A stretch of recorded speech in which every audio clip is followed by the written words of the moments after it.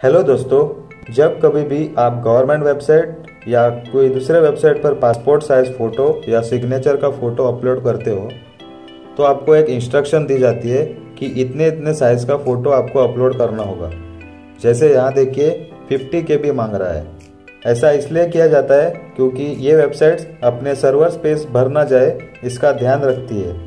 पर अब आपको अगर फ़ोटो अपलोड करना है तो उसे उसी साइज़ में कंप्रेस करना होगा।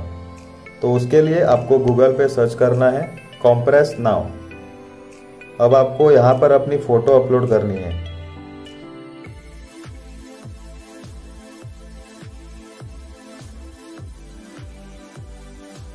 यहाँ देखिए, इसकी साइज़ है लगभग पाँच एम चलिए इसे पचास के भी करते हैं।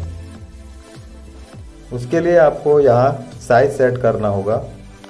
आपको जितना कम साइज़ चाहिए उतना आपको यहाँ बढ़ाना होगा। और आपको यहाँ साइज़ दिख जाएगा। अब आपको कंप्रेस पर टैप करना है। तो अब ये इमेज कंप्रेस हो गई है। चलिए इसे नीचे जाकर डाउनलोड करते हैं। अब इसे ओपन करते हैं। यहाँ आप देख सकते हैं क्वालिटी में ज़्यादा फ़र्क नहीं है। इस वीडियो में इतना ही। वीडियो अच्छा लगा तो लाइक और सब्सक्राइब कर दीजिए।